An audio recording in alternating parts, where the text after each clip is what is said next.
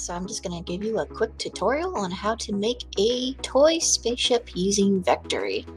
And as you can see, I've already done a few of them, demoed a couple of these in class, and I'm just going to show you how to make this guy and texture it. So we're going to create a new project. And as you guys know, Vectary can be a little bit slow depending on your internet access. But right now what we're going to do is we're going to make the nose of that spaceship. And the quick way to do that is to use basic shapes.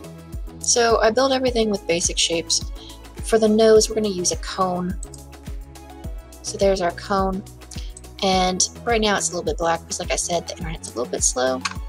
Um, while that's kind of booting up, I'm just going to look up spaceship clip art. That's what I'm kind of using for my base here. This kind of classic red and gray kind of spaceship with the wings and the engine and little porthole. That's what I'm kind of going for with this. Alright, so now we have the cone. I'm looking at it from the side and it's kind of sharp, very angled, and this one is very much more round and kind of bulbous, so we're going to go for that same look.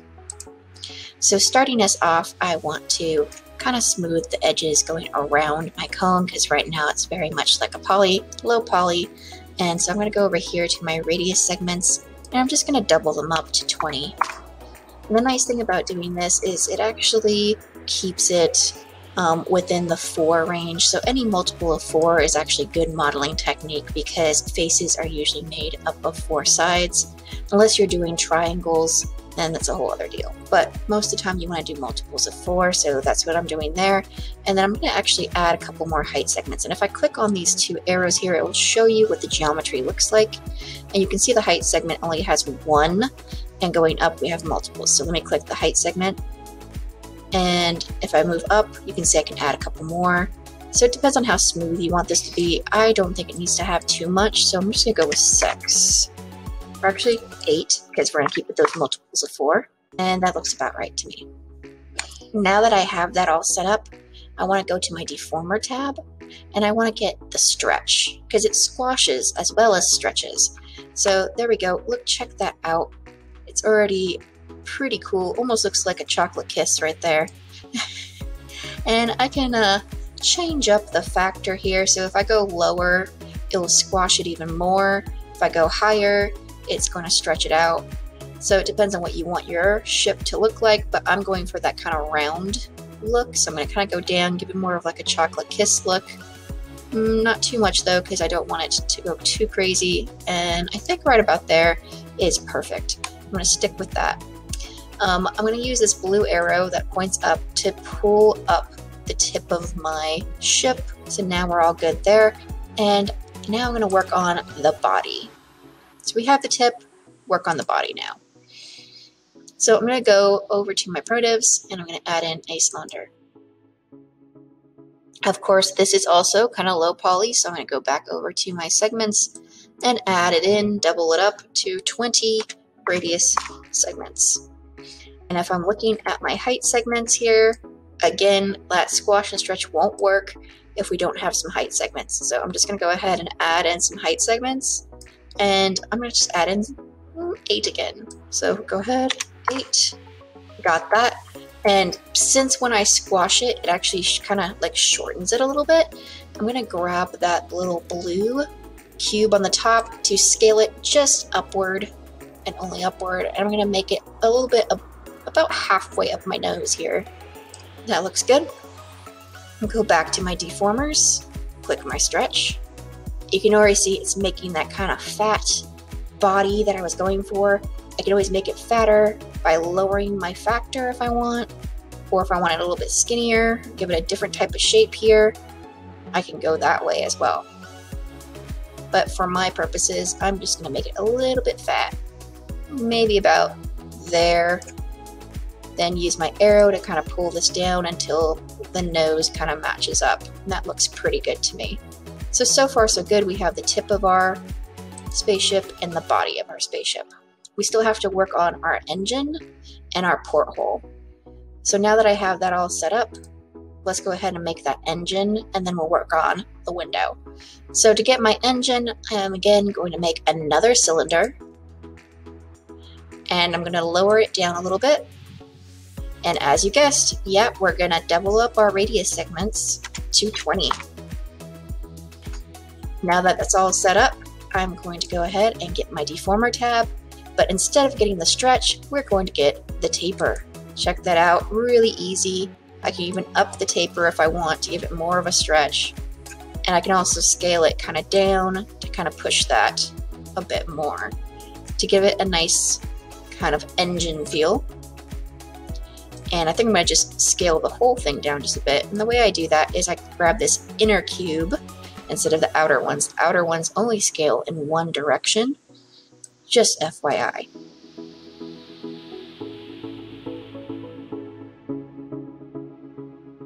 Now, I don't like how it just kind of goes straight into my engine, so I think I'm going to add in one more cylinder here to just kind of layer it a little bit more. Again, going to double up my radius segments to 20. And I'm just going to scale the whole thing down just a little bit. Okay, so now I'm going to look at it from the side. That looks pretty good. It looks like a pretty decent engine. I'm liking it. In fact, I'm gonna just pull this up just a little bit more so I can get a little bit more of that taper coming off the engine. And I think that's pretty good for the engine. Alright, so now that I have that, I want to work on my porthole. So the easy way to do this would be to make a torus. Because as I'm looking at this guy, it's basically just a donut shape. And I'm not worried so much about this inner window here because again, we're setting it up for 3D printing, so I'm not worried about that. So I'm just gonna go ahead and go to my primitives and we're gonna find a torus.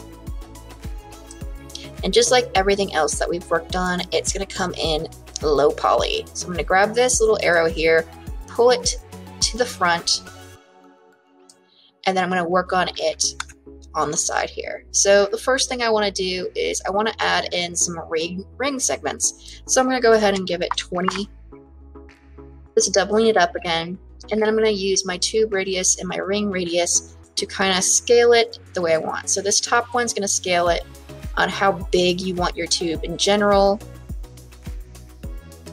And then this one decides how thin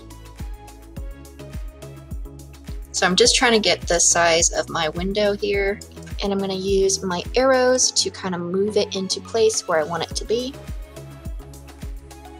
And once you get kind of close, you kind of want to look at it from the side, guys, so that you can see how you should rotate it. So I'm just going to kind of pull it down a little bit to where I want it to be, mm, right about there. And I'm going to rotate it using this round line here. And I'm going to rotate it just a little bit. Right about there looks good. Let's see, yep. And then I'm going to use my blue arrow to kind of just push that in a bit so that it's sitting inside the geometry and not just floating outside of it. And that looks pretty good. I might want to push it just a little bit more because it looks like the edges aren't quite in yet. Awesome.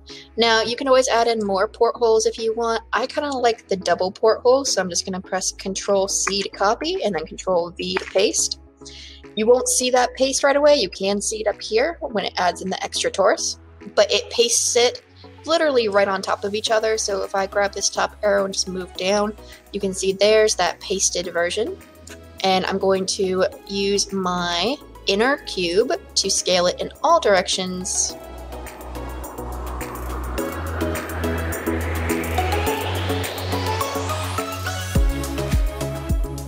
So our last step is going to be adding in our wings. So I'm going to go ahead and make a cube for that or a box. I'm going to pull it over here to the left hand side.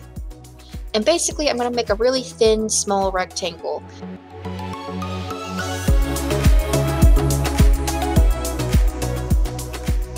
Alright, and now I'm going to place that rectangle where I want my wing to start. So I think I'm going to have it kind of in between my two portholes as far as height goes. So right about there rotate it a bit because it'll be coming off of the ship. I'm going to place it a little bit into the body, just like that. Perfect. All right. So now what I want to do is I want to actually go into edit mode for this, which I know we haven't done that really, but it's a super awesome mode because you can go in and you can individually grab parts of this box. But before we do that, I need to make sure that in my segments over on the right here, that we're not going to add more segments, we're actually going to take them away this time. We're going to go to one segment. And the reason why we're doing that is just because it makes it so that there's less geometry that we have to edit. So now I'm going to go to my edit. I'm going to bake my geometry and now I'm in there. Awesome. So what I want to do is there's some shortcut keys up here to switch from your vertices, from your lines to your faces. And we're going to be mostly working with our faces. So I could just click this or I could type three on my keyboard and it would switch to that as well.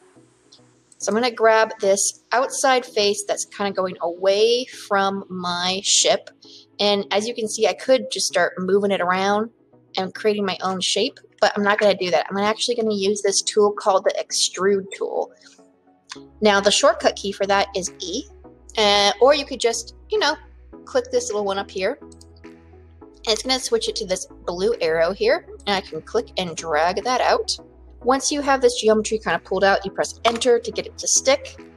And then you can use the geometry up here to kind of scale it down and then move it down just a bit using that top arrow. You can see we're starting to build up that curve on our wing.